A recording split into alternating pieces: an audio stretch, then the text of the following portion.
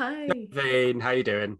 I'm great. Thanks for doing this. Thank you for taking the time. I just spoke to your lovely cast and caught them unawares with some questions, some fun questions. great, great, good. So good. I might ask you as well in a moment. But uh, huge congrats on the movie. I really enjoyed it. I watched it this morning. Um, tell me about the the challenges of not just bringing a book to life, but this book because there's a lot that goes on and there's a lot of kind of visual style, but also lots of messages and thematics and narratives and all that kind of stuff. So, what was the lure for you in the in the initial instance, and did you think that you could take it on immediately, or did it take a little bit of time to get your head around it? Well, for sure, I think the challenge was we had this the, the biggest challenge of the film, besides that we actually shot during the California wildfires and the pandemic, which are two competing crises. One is like one wants you to wear a mask and only be inside because the fires, and then one you have to wear a mask and be outside. So it was hard to breathe. Let's just put it that way for a lot of the prep for this film. Um, so that was a little scary. But then the the emotional challenge of the film is really that it totally. I mean, this is a film about Lennie's grieving her dead sister Bailey.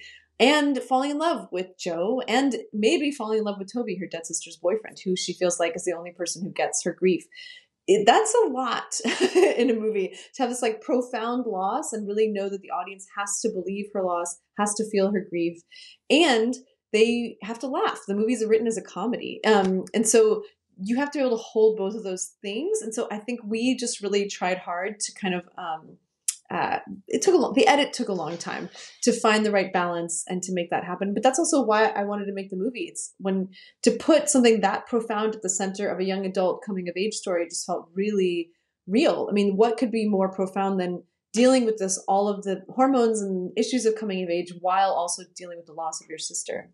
Yeah, and there's some there's some great sequences. There's a there's a musical kind of sequence in there that's kind of one take. There's one in the in the in the square that's kind of one one take. How long did it take you to prepare those? Because I, I it looks like they're all in one take. I don't know if you cheated, but it looks like you didn't.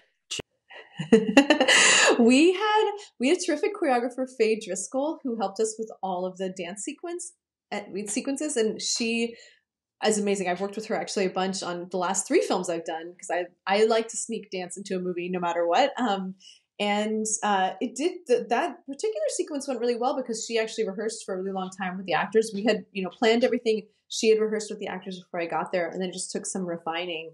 And honestly, doing one take sometimes I think that's easier because you're not trying to get 20 different angles and you don't have to light different ways. And it was outside, so we weren't dealing with lighting. So um, it was just nailing the choreography and the plan, and uh, we had so much fun shooting it. And I think in a weird way, also when there's one take, everyone knows they have to be on the whole time. So it was just like a fun. You have to rise to that level. It was our little Iñárritu moment, I guess you could say.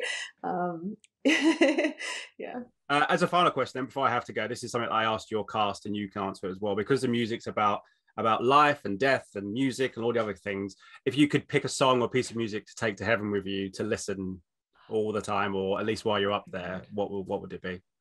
I think it would be either the the two pieces that I'm currently playing on the piano that I'm enjoy that I'm basically take I'm in a, my own personal heaven. I have two babies right now and they're really cute, so I feel and I always play them the Clair de Lune by Debussy and um, the uh, the first Gymnopédie by Erik Satie. So those are fun. Those are some ones that we've been enjoying in my house. But I'm really a sucker for Beethoven. So ideally, I would take three. And that is maybe like Beethoven's Pathetique Sonata, the whole one. Yeah.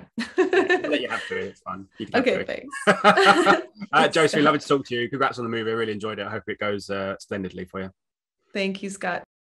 Ladies and gentlemen, you're watching Hey You Guys! Hey, you guys, huh? Hey, you guys. Is that from the Goonies? It is indeed, yeah. Nice. Hey,